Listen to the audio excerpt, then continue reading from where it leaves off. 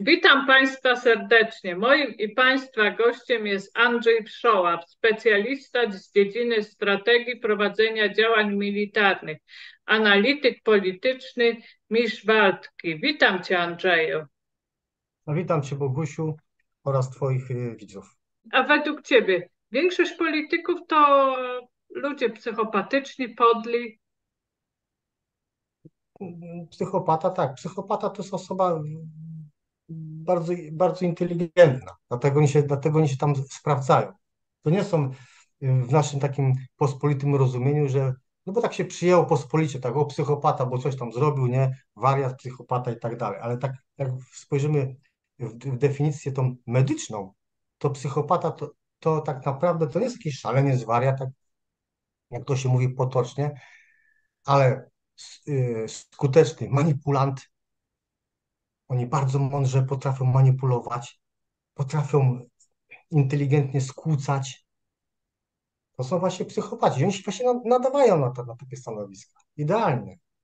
Niektórzy posłowie nie są za bardzo inteligentni. No, no bo wiadomo, e, ja w dalszym ciągu uważam, że te partie polityczne to tak naprawdę to jest y, patologia tego systemu. Patologia, bo do partii może się tak naprawdę zapisać każdy. I jak on tam się będzie dobrze umiał ustawić, to, to, to tam zajdzie. Będzie tam dobrze odpowiednio uprawiał lizusostwo, albo miał jeszcze plecy, wpływy, pieniądze, no to tak, potem będzie lawierował, to tak. Natomiast no, ktoś, kto ma po kolei w głowie, ma trochę, ma, trochę, ma trochę więcej oleju w głowie niż, niż przeciętny, ta jego sposób, ta percepcja, sposób myślenia jest y, przewyższa, no to no, będzie miał ciężko tam się odnaleźć, no, chyba, że ma jakieś gdzieś wpływy, plecy i tak dalej, no to wtedy też jest inaczej, nie? W każdym razie, no tak jak mówię, no widzimy, e, kim oni są tak naprawdę, z jakich rodzin się wywodzą i tak dalej. No korzenie mają takie, że Korzenie, jakby to mają... sprawdzić, to nie mają dobrych korzeni. No, no i, dlatego tak jest. A drugi aspekt sprawy jest y, taki, że też oni siedzą w kieszeni korporacja i za, te, za pieniądze. Bo tak y, trzeba zwrócić na jedną rzecz uwagę, że jak jest na emeryturze polityk i jest z nim wywiad z, z jakimś byłym politykiem, to już on ma jakąś troszeczkę inną narrację, potrafi mieć, niż jaką był na stanowisku. No, Miller teraz troszeczkę inną ma narrację. No właśnie, no, a jak był wcześniej, to jak, jaka była jego narracja? Andrzej, pieniądze do Rosji wywoził za komunę. No i w, w, razem z, z, z Kwaśniewskim e, wzięli od amerykańskiej agencji wywiadowczej CIA walizkę e, pieniędzy, parę milionów za, przytrzymywa, za przytrzymywanie e, więźniów e, z Iraku tam w chlebkach, co, co kiedyś Andrzej Leper to ujawnił, co się z niego A, śmiali. Słuchaj no. Andrzej, te, te więzienia CIA, Andrzej Leper to miał ujawnić, a później jakoś tak niby, że się powiesił, a nie powiesił się, bo mówili, że go y, sprzątnęli. No i on, co ciekawe, on czuł, ja oglądałem ostatni jego wywiad, no to on właśnie taki bardzo zaniepokojony, on wiedział, że czyhałem na jego śmierć. On jeszcze dzwonił do, do Piotra Tymochowicza właśnie z informacją i mówił, Piotrze, czekają na moją śmierć. I on mu tam przekazał pewne dokumenty Piotrowi i Piotr Tymochowicz też był niesłusznie aresztowany. Jemu tam na, na skrzynkę mailową wrzucili jakieś e, dziecięcą, e, pornografię, że pedofil. E, oczywiście go, no, oni najprawdopodobniej szukali tych dokumentów, których Andrzej Leper mu tam zdeponował. No ale no, po wyjściu z więzienia Piotr Tymochowicz postanowił, że tutaj nie ma co szukać w Polsce, bo jej, jeszcze jemu się coś może stać i on uciekł do Kambodży. On teraz przebywa w chwili obecnej w Kambodży i do Polski nie wróci. A dokumenty zabezpieczył, powiedział. A słuchaj, a ty podejrzewasz, kto stoi za zabójstwem Lepera? No, za zabójstwo Lepera to wiadomo, że y, na, na pewno za szturki pociągali z, z, z partii PiS. Na pewno. Sam fakt e, przecież e, e, sekcji No ale słuchaj, a SLD, przecież to było, to było za SLD, za Kwaśniewskiego te więzienie, Tak, czy jaj. też, ale nie szkodzi, ale ja i tak w dalszym ciągu tu uważam, bo em, prawda jest taka, że oni wszyscy są umoczeni. To tam nie ulega wątpliwości. To nie ulega wątpliwości. A wróćmy do sekcji zwłok Andrzeja No Lepera. właśnie, no i no właśnie, dlaczego zwlekano? Przecież sekcja zwłok wicepremiera powinna się odbyć, no, no to jest priorytet od razu. Po co czekano trzy dni, czy tam ileś, żeby nie można było, żeby w tym czasie można było coś zatuszować, coś, coś, coś ukryć, coś zrobić? Andrzej Leper był katolikiem i on I y, szczerym człowiekiem, bo jak ja rozmawiałam z tak. policjantami, to oni o nim dobrze mówili. Oni nie wierzą też w to, że Andrzej Leper się powiesił. no było najlepiej. U nas taka występowała swego czasu w Polsce taka fala samobójstw. No przecież y, wypisz, wymaluj sytuacja z tymi olewnikami. No przecież wszyscy potencjalni świadkowie, którzy by mogli coś w tej sprawie zeznawać, wszyscy nagle się powiesili.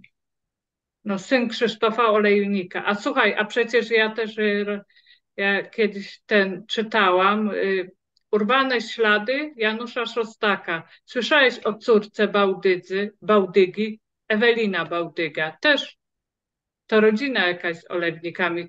Też ją zabili. Czyli to widać ewidentnie, że te wszystkie e, te połączone nici jakichś takich znajomości e, zostały odcięte. Najlepiej no, pozbawić kogoś życia. No i co? Nie ma świadków, nie ma sprawy i do widzenia, tak? Bo No tam chcieli, ma. Bo tam chyba chcieli Olewnika i Bałdygi nie, masarnie chyba przejąć ich. Tak, bo oni tam mieli, tak, tylko że on tam się nie zgodził, oczywiście postawił im się, tam byli zamieszani y, z policji też przecież byli zamieszane osoby. Dużo było zamieszanych osób.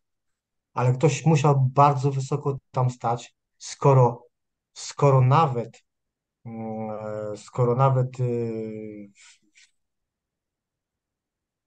ten z- pełniący dyżur, bo tam jednego świadka oni tam przytrzymywali e, w więzieniu, to w tym dniu, gdzie, gdzie właśnie, mm, bo oni tam w więzieniu chyba kogoś też tam wykończyli, też jakieś niby było samobójstwo. nie? Było, było, bo ja czytałam w tej książce Urwane Tak. ślady ja, Janusza Szostaka książka. Tak.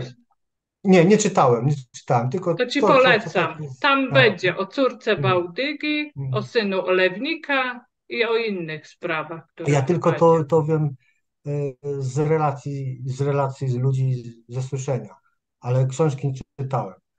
I teraz e, zobaczcie, jakie, jakie gdzie macki tej ośmiornicy muszą wysoko sięgać, skoro, skoro monitoring w więzieniu nagle w tym dniu przestał działać i, i nie wiadomo, kto wszedł do tej celi.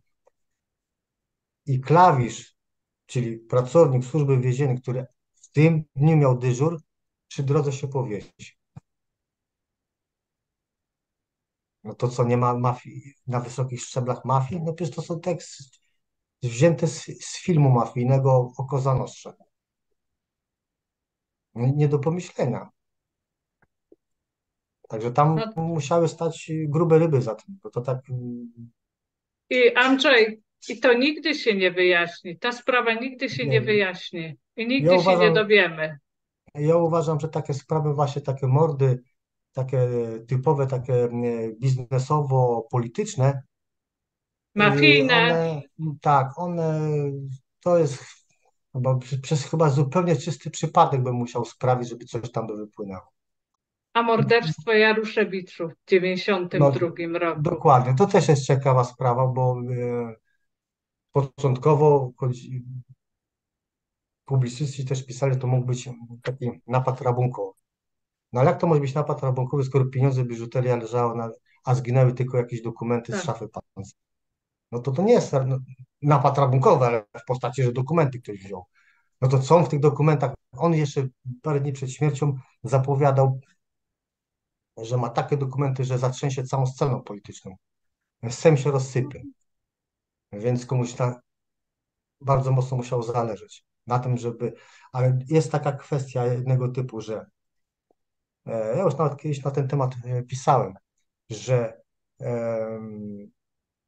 rodzina Jaroszewiczów, Piotr Jaroszewicz, oni mieli taką zasadę, że oni obcych w ogóle nie wpuszczali do mieszkania. To było naj, najbliższe grono, tylko ścisłe, ścisłe grono znajomych. No to Więc już się kogo- bali. Więc kogo on musiał wpuścić? Wpuścił kogoś, którego znał. Czyli ja jakbym prowadził śledztwo w tej sprawie, to wezwał, wezwałbym na przesłuchania te, tych wszystkich znajomych, bo oni, wiadomo to, z kim on się tam spotykał, bo to nie było jakieś tam w piwnicach tajne. Każdy wiedział, kogo on tam, oczywiście było to kilka tylko osób. I z tych, tych osób trzeba byłoby przycisnąć. Kogo, no, ja, nie, ja nie posądzam, że osoba, którą Piotr Jaroszewicz No wpuścił, nie, to zaznaczam, że my tu nikogo nie oskarżamy. Tak, tylko po prostu e, ta osoba wprowadziła przestępców. Nie była bezpośrednim sprawcą, tylko pośrednio pomogła pośrednio. No taka jest moja domniemanie oczywiście, bo, bo Andrzej, a Jaruszewicz przecież też był komunistą. e, Piotr Jaroszewicz był w ogóle pułkownikiem, pułkownikiem e, wojskowym był. I to był, szczerze mówiąc, no, y, bardzo ciekawa postać, bardzo mądry facet taki. Wbrew pozorom, jak tam można było cokolwiek mówić, ale bardzo dobrym był y, ministrem spraw zagranicznych w, w ekipie Edwarda Gierka. Chcesz cukierka, chodź do Gierka. Gierek da, kopa, dupę i papa. W każdym razie on jako, jako polityk był sprawnym politykiem i bardzo mądrze tam kierował y, urzędem. No ale komunista, Andrzej. Zresztą wszyscy kiedyś byli komuniści. W każdym razie, jeśli chodzi o, jeśli chodzi o, o politykę, był, był sprawnym politykiem. No i jako, jako, jako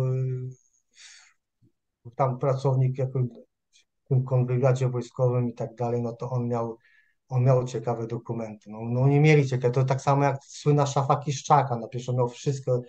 A takie Kiszczakowa pa- po śmierci tam y, ujawniła, bo podejrzewam, że ona została zastraszona, stara Kiszczakowa, że jej może zabiorą emeryturę albo co i, i puściła. Pisowcy To to, znaczy, chyba to, to znaczy, ja, to znaczy ja myślę inaczej, że może nie tyle, że tam emerytura czy coś w tym, w, w tym względzie, ale bardziej ona się obawiała o swoje życie.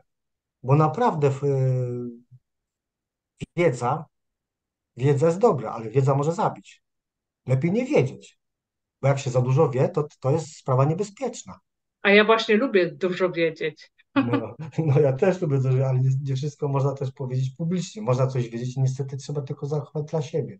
Mieć tą wiedzę niestety, no ale bo, no, bo ona jest niebezpieczna wiedza, jak się za dużo wie. Dlatego ja tu podejrzewam, tu, że y, tu chodziło bardziej, że ona się obawiała o swoje życie, no bo mając w domie, w mieszkaniu, w prywatnym mieszkaniu y, bardzo ważne dokumenty, no to co ona bezbronna kobieta sama bez parasola tego ochronnego może zrobić? Dopóki mąż żył, czyli jak do, do, dopóki, dopóki on żył, no to był ten parasol ochronny, na jaką zmarł, no co ona miała sama zrobić? No to się No tak, ja się kobiecie nie dziwię, no co, ona już była stara, Tak. A mając na uwadze, na uwadze fakt, jak skończyła rodzina Jaroszewiczów, małżeństwo, bo wiesz, y, żonę, ona też przecież została tam w ogrodzie oni zostali zabici, nie? coś to było, no, ma- Ja jeszcze no, dzieckiem y, byłam, do piątej klasy chodziłam. y, ślady były, no było widać, że byli maltretowani, czyli, czyli on, y, Jaroszewicz pewnie nie chciał tych dokumentów wydać, albo może kluczy do tego sejfu, najprawdopodobniej tak podejrzewam, tak dlatego, dlatego oni byli bici, maltretowani, tak, bo ślady były tortur, tak, że byli torturowani. I pewnie wtedy, jak już, już widocznie, no, no to już wtedy może już to czy otworzył, czy wskazał, Nigdy nie doszło, kto zabił Popiełuszkę. Też nigdy się ta sprawa nie wyjaśniła. Nie, no dlatego mówię, takie mordy, takie, no to są mordy polityczne, no, no tak trzeba powiedzieć sobie jasno. E, Nie wyjdą, nie wypłynie na światło dzienne nic takiego konstruktywnego, e, prawdziwego. Tylko będą poszlaki, albo jakieś takie będą półprawdy, Domysły, takie. domysły, tak, dokładnie. Podobna sytuacja, o, przypomniało mi się, jak było z generałem Papałą. Tak samo. Posądzili tam jakiegoś drobnego złodziejaszka samochodu, że niby on mu tam sprzedał kulkę. No przecież kompletna bzdura, który nawet się sam świadek korony Masa wypowiada, że to jest kompletna bzdura, że ten Patyk, pseudonim Patyk, który drobny rzezimieszek zastrzelił generała, generała policji. No przecież bzdura, tak? A co ciekawe, o tym się też jakoś tak dziwnie nie mówi, że w tym dniu i dzień wcześniej w tym dniu Papała wydzwaniał do, do, do Millera, do Leszka Millera, a Leszek Miller nie odbierał od niego telefonów. No, ciekawe sprawa. Co, bał się informacji? Informacja może zabić. Czego się obawiał, nie odbierając telefonu? Tak, tak wynikało to z, z, ze śledztwa. No bał się, że może mu Papua coś, coś powie takiego, co no, może jemu zaszkodzić. Tak wynikało ze śledztwa. Także na koniec możemy powiedzieć, że polityka to jedno bagno. Polityka tak.